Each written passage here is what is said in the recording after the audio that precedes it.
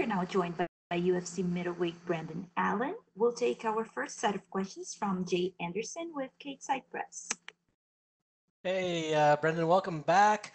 This fight feels like it's been a long time coming. So, how satisfying is it to finally be in fight week and lined up with Ian Heinisch?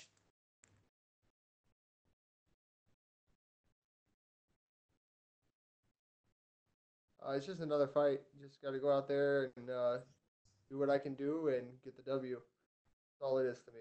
Another fight. So I know you say it's another fight, but you were uh, pursuing this one for a while, if I'm not mistaken. Uh, and I think you were kind of upset that he had dropped out of maybe a past matchup. So um, have you just kind of put that in the past now, and you're just kind of just set on you know the night itself?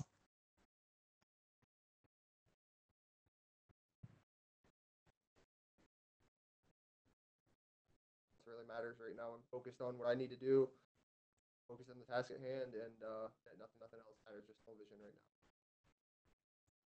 With the fight being uh, pushed back when he pulled out originally, and you had the uh, short notice uh, fight against Daukaus, um, did that change your mindset going into this in the sense of did you focus more on yourself just in case it happened again?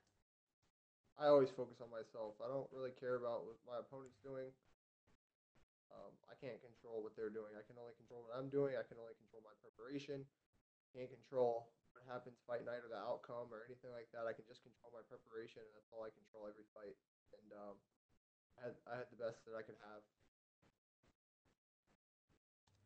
And Ian came out recently in an interview and he said uh, the two of you were at the PI together. You wouldn't make eye contact with him. He read it that you're afraid of him. I mean, you both fight for, for a living. You've signed the contract, so that seems uh, not to be the case. But do you just see that as fight promotion, or is he trying to convince himself? Uh, I don't know. He's a line. I don't know. Whatever he has to tell himself to uh, sleep at night to get to this fight, whatever he has to put around him to put words in his head, it makes no difference. I'm not scared of a man on this planet whatsoever. The only man that I was scared of, my father, and I'm not scared of him. I have most respect for any human on this planet. I'm scared of no man on this planet. I don't care what he thinks. I don't care what he says. I I don't care. I'm just here for me. I'm here to take a check and go home to my girls and to my family. All that matters. I could care less what he says or. All right. Well, best of luck this weekend. We'll take our next set of questions from Gabriel Gonzalez with Cage Press.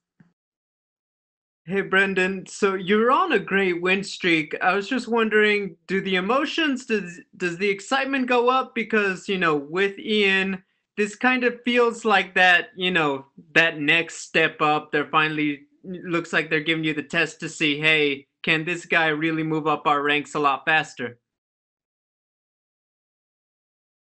I don't really know. I kind of feel like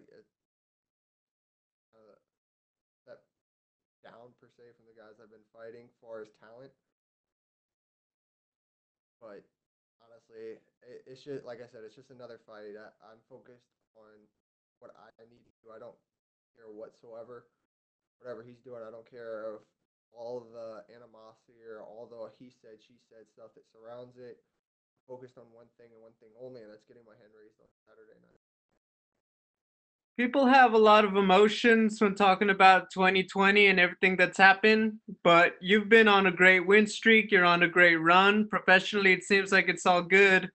How would you sum up your year personally? Good, man. My family's healthy. That's all I care about. My family's healthy. I'm blessed. Good. Finally, what do you most look forward to displaying in your performance this Saturday? Not looking forward to really displaying anything. I just want to go out there and uh, be the guy that's been in the gym and do what I need to do and be very calculated and take advantage of anything that he, he, he leaves open. I, I just want to capitalize on everything. I want to feel fear in his heart and um, make him second guess things really early. That's that's my goal every time is just instill fear, make them second guess, and that's that's the goal Saturday night. Put fear in his heart, and uh, make him second guess what, why he's there. Uh, thank you, Brendan. Good luck. Thank you. That's all we have for you today, Brandon. Thank you.